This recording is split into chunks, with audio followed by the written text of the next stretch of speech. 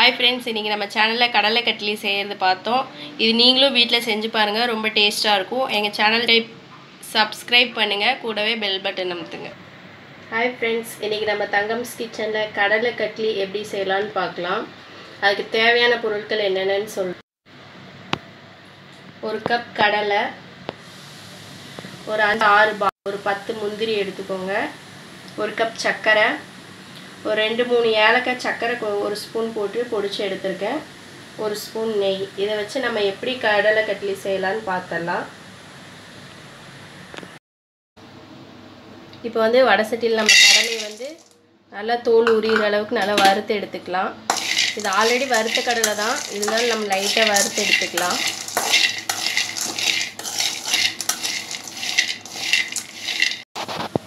கடலையை நம்ம இப்போ வறுத்து எடுத்துட்டோம். அடுத்தது முந்திரி பாதம் லைட்டாக வறுத்து எடுத்துக்கலாம்.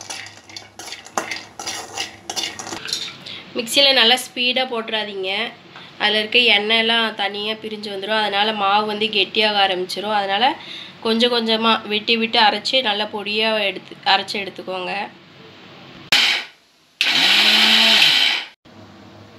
இப்போ நம்ம சர்க்கரை பாகு எப்படி செய்யுதுன்னு பார்த்துக்கலாம். நம்ம எடுத்து வச்ச சர்க்கரையை போட்டுக்கலாம். ஒரு கப் சர்க்கரைக்கு ஒரு கப் தண்ணி ஊற்றிக்கலாம்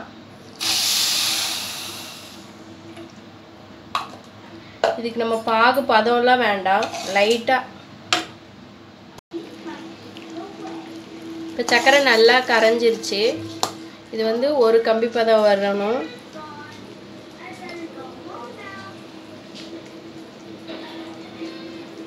இப்போ லைட்டாக கம்பி மாதிரி வந்து உடையணும்.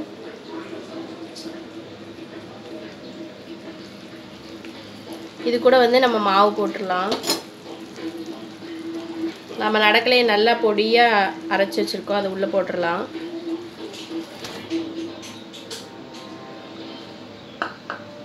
ஏலக்காய் பொடி போட்டுக்கலாம்.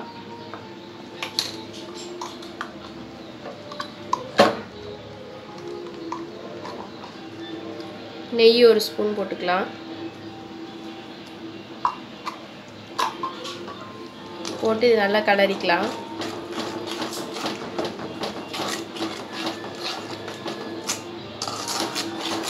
கைவிடாமல் கலரிட்டே இருங்க.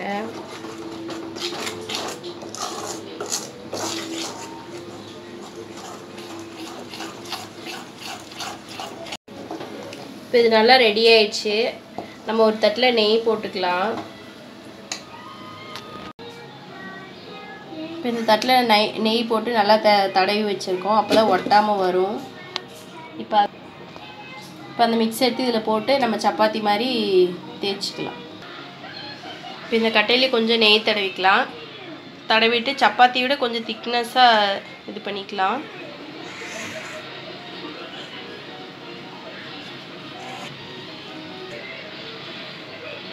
இது நம்ம சப்பாத்தி விட கொஞ்சம் திக்னஸாக பரட்டிட்டோம். இதை நம்ம இப்போ கத்தி வச்சு கட் பண்ணிடலாம். சூடு ஆறுறக்குள்ளே கட் பண்ணிடுங்க சூடு ஆறிச்சுன்னா நம்மளால் கட் பண்ண முடியாது. கொஞ்சம் திக்காயிரும்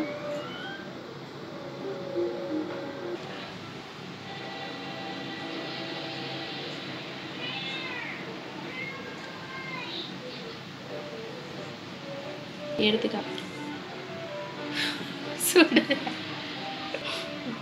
இப்போ கடலை கட்லி வந்து ரெடி ஆயிடுச்சு.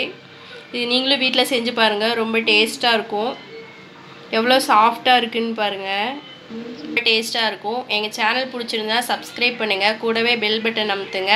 மறக்காமல் உங்கள் ஃப்ரெண்ட்ஸுக்கு ஷேர் பண்ணுங்கள் லைக் பண்ணுங்கள் கமெண்ட் பண்ணுங்கள்